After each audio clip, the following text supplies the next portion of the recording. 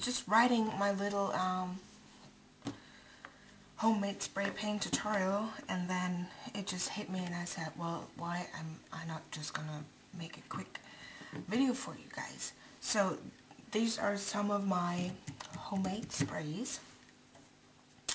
As you can see, I love bright colors. So I got pinks and purple and and um, of course turquoise and even mixed my own orange here because I wanted a little um, it's more pastel like so let me just show you. That was a pencil. Um, before I'm going to mix a new color for you I'm just gonna spray these onto my little sketchboard here. Don't you just love these colors? Aren't these awesome? Yeah, I love them. So sometimes the little hole right there just clogs up. But that's okay, right? We can live with that because we are mixed media artists.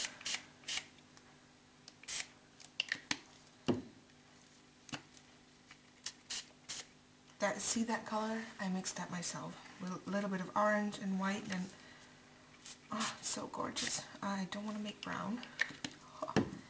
And of course I needed yellow, so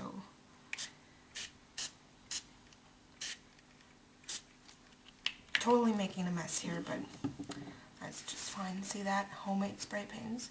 Love them. I'm going to zoom in for you so that you guys can see it's totally wet here and that piece of sketching pad is not gessoed or anything. So yeah, don't you just love these bright colors? And these are really just simple acrylic paints mixed with water and a dab of um,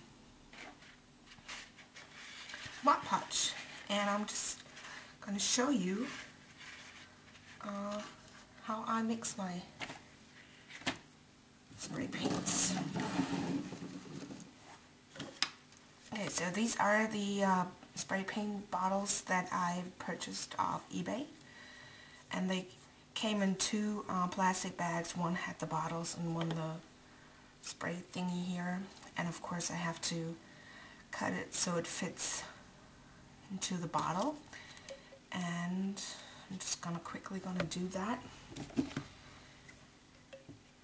I usually um, don't cut it a little bit on over the, the bottom if you know what I mean you know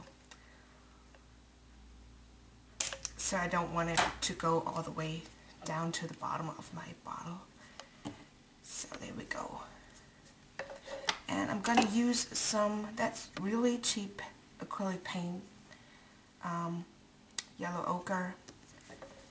So, yeah, I just need to open that tube. Holy macaroni. Here we go. So, I just add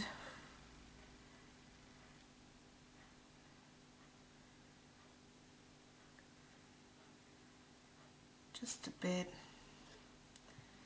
I don't know if you can see how much is in there. Let me try. No. Oh, you can't really see, but it's not it's not much. It's like maybe maybe half a tablespoon. And then I take a little cup of water and just add probably so that the the uh, the bottle is half full. Now I can't hold it to the side because obviously it would start to run out of my open bottle here. So then I take my Mod Podge and uh, popsicle thing, whatever it's called and like I said I just take a dab like so There's the camera. And I put it into my bottle as well. And now it's time to shake.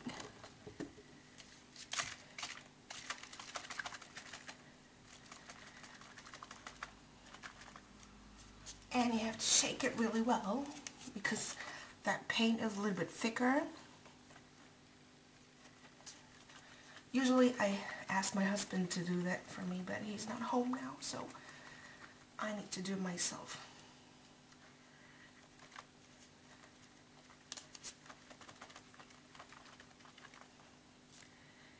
And once I've shaped it well enough, I just open it up again and add more water so that my bottle is about three quarter full.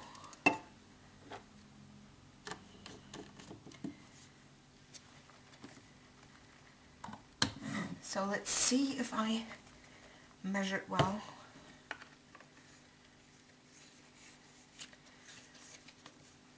It's not, I don't really have a formula, it's just like I'm playing with it and that's why I don't put too much water in it at first so then I can always add more water later. Oh husband, I need you to shake my spray paint.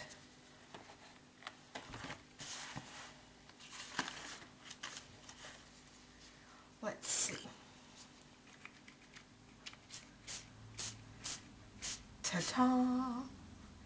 Yellow ochre spray paint. And of course, these work with stencils.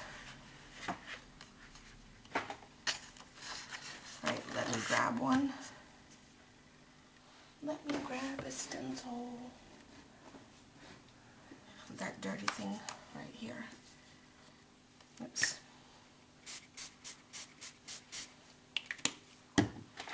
Might want to like take off some of that ta-ta. Isn't that beautiful?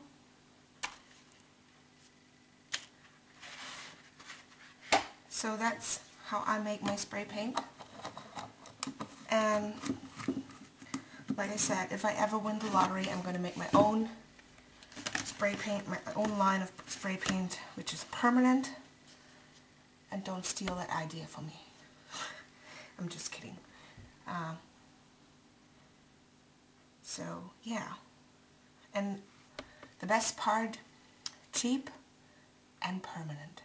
Perfect for mixed media projects and art journaling and just layering things. Just fun. So enjoy making your own spray paints and save money. I hope I'm not gonna get in trouble with all the manufacturers. Okay. See you all soon. Peace.